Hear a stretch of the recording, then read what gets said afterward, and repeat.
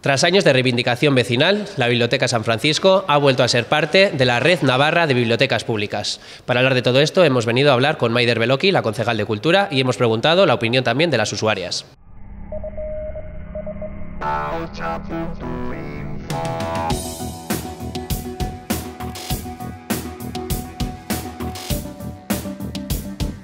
¿Qué te parece la ampliación de horarios de la biblioteca pública? Bueno, pues es una ventaja que favorece mucho a los eh, ciudadanos y sobre todo pues a la gente que quiera aprovechar por las mañanas para estudiar. Aunque hay gente que posiblemente ese horario no pueda disfrutarlo tanto como otras, pero está muy bien. Perfecto, genial, para todos los estudiantes de maravilla. Sí, sí, sí. Se tenía que haber tomado hace tiempo esa medida, me parece muy bien. Para todo el barrio, para todas las personas.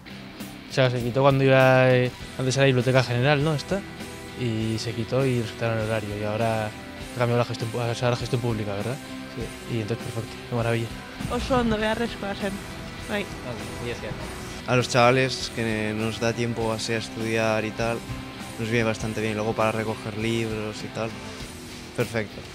vale. Vale, estupendamente. Hay cantidad, estás parando posiciones, estudiando y demás, y no tenía dónde venir. Yo he visto aquí a un señor protestando con un cartel todas las mañanas cuando paso por aquí para que vean la biblioteca. Me parece perfecto. Y asimismo también han cambiado la gestión. Antes era privatizada y ahora la va a gestionar, bueno, va a ser de gestión pública. Sí, ¿qué te parece? Bueno, me parece muy bien. Quizá vaya mejor así, ¿no? Por lo menos vemos que las horas, el horario va a ser mayor que el anterior, ¿no? Pues muy bien. Me enteré esta mañana y decía como bien, por fin. También, aparte de los salarios, han cambiado la gestión. Antes era una gestión privada, ahora lo han publificado. ¿Qué te parece? Pues muy bien, porque la otra me parecía nefasta.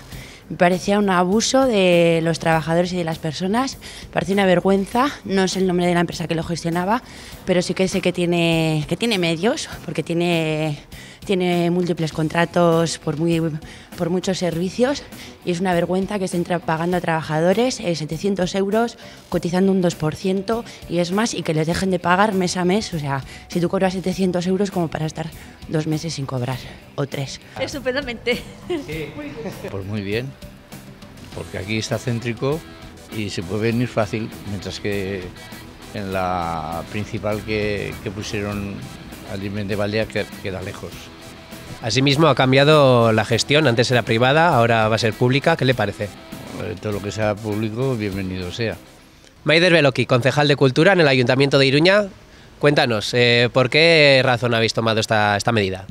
Eh, bueno, eh, básicamente es una reclamación histórica vecinal desde que la Biblioteca General pasó de, de San Francisco a Mendevaldea y luego, bueno, es uno de los puntos clave en el acuerdo programático del cambio, del Ayuntamiento del Cambio. Las bibliotecas se rigen por un convenio marco con Gobierno de Navarra, en el cual el Gobierno de Navarra en ese convenio de 2004 asumía las competencias de, todos los trabajadores y trabajadoras de las bibliotecas. De ese convenio marco se ha hecho un convenio específico a un año con Gobierno de Navarra en el cual el Ayuntamiento de Iruña asume las competencias de las trabajadoras y trabajadores de, de la Biblioteca San Francisco.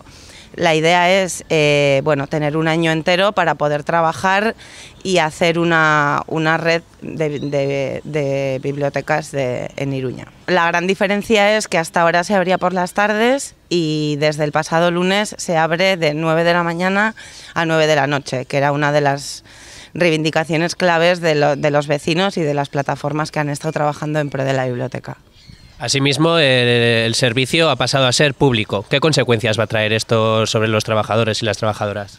Bueno, eh, hasta ahora las trabajadoras que han estado que han estado trabajando aquí en la biblioteca pertenecían a una empresa privada con unas condiciones laborales pues bastante pobres a nivel, a nivel de sueldo y de, y de los convenios que, que, se regían, ya que la empresa tiene su domicilio social en Madrid y, y, bueno, a partir del lunes los trabajadores y trabajadoras que están en la biblioteca pasarán a tener un sueldo digno.